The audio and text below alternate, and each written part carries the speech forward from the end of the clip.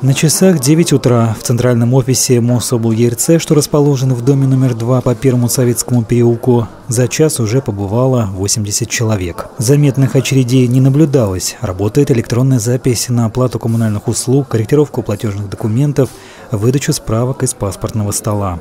Хорошо подкованные в вопросах ЖКХ общественники проверили наличие информации на стендах. Замечания последовали тут же. Только что нас повесили объявление о том, что с 10 по 20 принимаются показания приборов учета. Жители об этом должны знать. Кроме того, теперь э, вода будет учитываться месяц в месяц, не так, как было до этого. Соответственно, тоже люди должны быть осведомлены. Интересовались общественники и тем, довольны ли обслуживанием в новом расчетном центре посетители. Положительных отзывов оказалось больше. Во-первых, мне понравилось, вот из той, когда организации перевели из того здания сюда, мы обслуживание нормальное, хорошее. Я пришла с вопросом, вот выписку из домовой. Парню сегодня 20 лет паспорт поменять. Обслужили в лучшем виде. Девушка мне разъяснила, за два месяца мне здесь э, показания счетчика указали правильные. А если вот так все будет правильно, значит это все хорошо будет. Если они на самом деле это наладили. На вопросы профильной комиссии общественной палаты отвечали уже не девушки за стойками, а руководство Щелковского филиала МОСОБЛ ЕРЦ.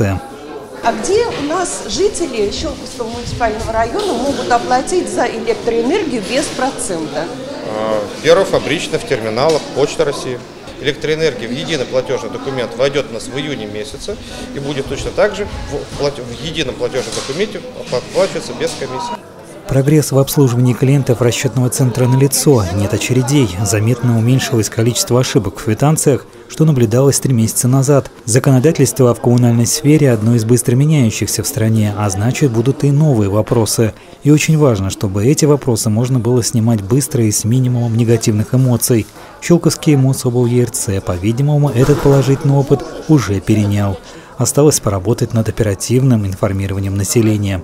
Администрация района предложила руководству расчетного центра провести разъяснительную работу с управляющими компаниями, чтобы те объяснили жителям, где им помогут решить вопросы с начислениями и оплате жилищно-коммунальных услуг.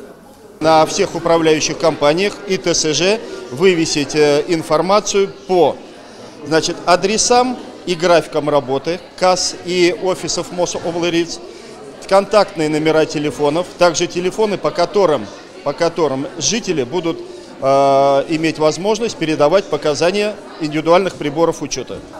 Рейд общественной палаты в главный офис МОСОБЛ ЕРЦ не первый за последнее время. Накануне его работу проверили депутаты. Вывод один. Нерешаемых вопросов в расчетно-кассовом обслуживании не бывает, особенно если речь идет о работе единого оператора по сбору коммунальных платежей. Сергей Максимов, Михаил Налетов, телерадиокомпания «Щелково».